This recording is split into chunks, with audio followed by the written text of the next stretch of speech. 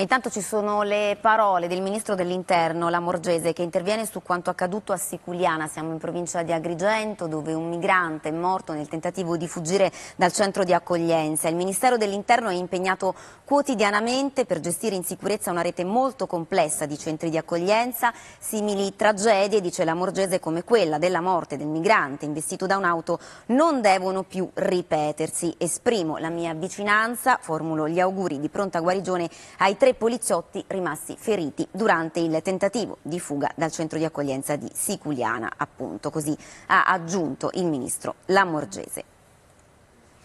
Ancora la cronaca, una donna